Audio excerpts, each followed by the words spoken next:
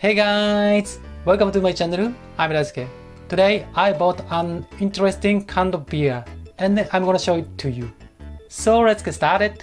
まず今日買ったビールがこのアサヒのスーパードライっていうビールなんだけどちなみにこれは日本語で缶ビールって言います。缶ビール。日本では自宅でビールを飲むときに基本的に缶で飲む人が多いね。他のアジアの国とかこう南米とかアメリカってどんな感じなんだろうね。やっぱり缶が多いのかな。でもヨーロッパは瓶だよね。まあ缶も売ってると思うけど。まあ見てわかると思うけど普通のビールと形は一緒です。ちなみに日本で売られてる普通のビールの缶はこのタイプね。でもこれを見て、この開けるこの口のところがこの2つのビールだと違うね。そしてこっちのビールの方は開けた時に泡がわっと出てくるんだって。ね、面白いでしょ？ここに日本初って書いてるけど、もしかしたら他の国ではあるのかな、こういうの。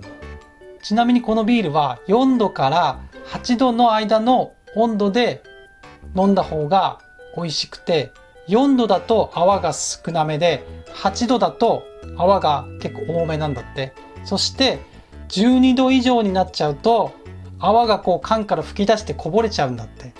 だから要するによく冷やして飲んでねってことね。俺ね、こういうのね、なんか好きなんだよね。まあ、とにかく飲んでみましょう。楽しみだな。さあ、開けてみます。ちゃんとこれ泡出てくんのかないくよ。321お、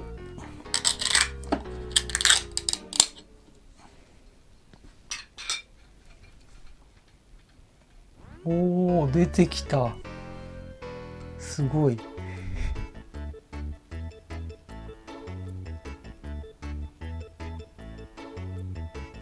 結構出てくるね。え？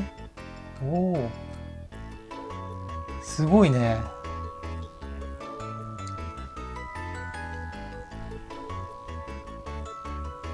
とりあえず飲んでみます。乾杯。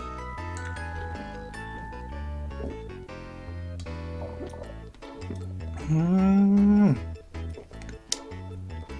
あのね泡がねめっちゃクリーミー。すごいじゃんこれ。これはね面白いわ。あのねこの缶のすごいのはここの部分って普通さ缶詰とか開けたらこう手切れたりするじゃん。でもそういう風になんないようになってる。これすごいと思う。あとここの飲み口もここで口が切れないようになってるねちゃんと。これね花見とかバーベキューの時とかにあるとすごいなんかいいような気がする。今日は缶ビールについての動画でした。これは今回コンビニに買ったものだけどスーパーとかにもあると思うので日本に来た時に試してみてください。それじゃあねバイバイまたね